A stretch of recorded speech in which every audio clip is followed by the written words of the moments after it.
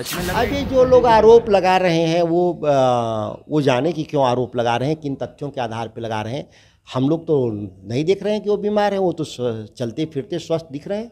तो जब गुजरात नहीं कामयाब हो पाया, जो महात्मा गांधी की जो कर्म, जन्मभूमि भी है, कर्मभूमि भी है तो बिहार में भी बहुत आसान नहीं है। समाज में एक तरह के माफिया तत्व खड़ा हो रहे हैं, जो अवैध शराब से लाखों हज़ारों हज़ार करोड़ अर्जित करके वह सामाजिक और राजनीतिक जीवन में हस्तक्षेप कर रहे हैं। शराब पी की जो मौत हो रही है जहरीली, इस तरह की मौत न हो, इसके लिए सरकार को गंभीर चिंतन करना चाहिए और उस पर एक निर्णय लेना चाहिए। नमस्कार, आप लाइव सीरीज़ देख रहे हैं आपके साथ। मैं हूँ वसीम खान। राजद विधायक सुधाकर सिंह ने शराबबंदी कानून पर सवाल खड़े किए हैं। मुख्यमंत्री नीतीश कुमार पर जमकर बरसे और कहा कि एक बार विचार तो करना ही होगा। सबसे पहले, आप राजद विधायक सुधाकर सिंह को ही सुनिए। सरकार में मंत्री भी रहे। आ, सदन के अंदर जो कुछ हुआ सबने देखा आपने भी बताया कि सबने देखा इस पर टिप्पा टिप्पणी करना उचित नहीं है सब जानता है। नीतीश कुमार क्या बदले बदले सच में लग रहे हैं? देखिए मुख्यमंत्री जी के बारे में मीडिया रोज़ उनसे मिलती जुलती है। हम्म। कोई दिन नहीं है जो मीडिया से रूबरू नहीं। उनके कोई चीज़ों में बदलाव आया होगा तो आप बेहतर समझते हैं। हम लोगों से तो कभी कभी वो विधानसभा सत्र चलता है तीन चार महीने पर तो हम्म। उसी समय हम लोग से उनसे मुलाकात होती है। इसके अलावा तो उनसे हमारी कभी मुलाकात नहीं होती। जो आप टीवी चैनल में दिखाते हैं वही हम लोग देखते हैं। तो आप बेहतर समझते हैं कि क्या स्थिति है क्या परिस्थिति है क्या चीज़ें हैं वो आप बेहतर समझते जब आप लोग एक साथ होते हैं सदन के अंदर ही आप लोग एक साथ होते हैं एक साथ आवाज़ बुलंद करते हैं क्या लगता है सच में बदलाव सदन में देखा गया नीतीश कुमार? मैंने कहा कि जो बदलाव उनमें दिखा उसके लिए उन्होंने वापस ले लिया।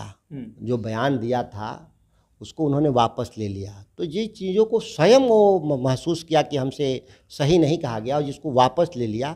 तो अब तो पब्लिक डोमेन में है उसकी अलग से अब क्या व्याख्या करने की ज़रूरत है? बीमार मुख्यमंत्री कहा जा रहा है तो क्या सच में लगा अभी जो लोग आरोप लगा रहे हैं वो आ, वो जाने कि क्यों आरोप लगा रहे हैं किन तथ्यों के आधार पर लगा रहे हैं।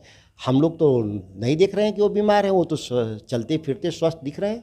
अच्छा संपूर्ण शराबबंदी पर लगातार जितना मांझी भी सवाल उठा रहे हैं विपक्ष भी सवाल उठा रहा है क्या लगता है गुजरात मॉडल के तर्ज पर बिहार देखिए गुजरात क्या मॉडल है मुझे नहीं मालूम लेकिन गुजरात एक मॉडल था कि प्रोहिबिटेशन के बाद भी शराब वहाँ मिलती है और बिकती है। तो जब गुजरात नहीं कामयाब हो पाया जो महात्मा गांधी की जो कर्म जन्मभूमि भी है कर्मभूमि भी है तो बिहार में भी बहुत आसान नहीं है।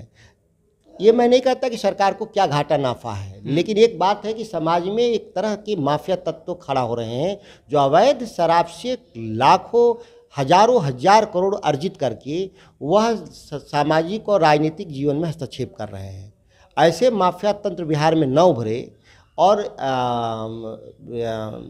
जो शराब पी के जो मौत हो रही है जहरीली इस तरह की मौत न हो इसके लिए सरकार को गंभीर चिंतन करना चाहिए और उस पर एक निर्णय लेना चाहिए। क्या बदलाव की आवश्यकता है? निश्चित तौर पे बदलाव की आवश्यकता है समीक्षा की आवश्यकता है। तो आपने सुना सुधाकर सिंह को स्पष्ट रूप से कहते नज़र आ रहे हैं जहरीली शराब से। मौतें लगातार हो रही हैं और सरकार चैन की नींद सोई है। सोचना होगा विचार करना होगा तब्दीलियाँ करनी होगी। शराबबंदी कानून पर बड़ा सवाल खड़ा कर रहे हैं राजद विधायक सुधाकर सिंह। देखिए, इससे पहले जीतनराम मांझी लगातार शराबबंदी कानून पर बोलते रहे हैं और अब राजद के विधायक भी। खैर, इस वीडियो में इतना ही। आपका बहुत बहुत शुक्रिया।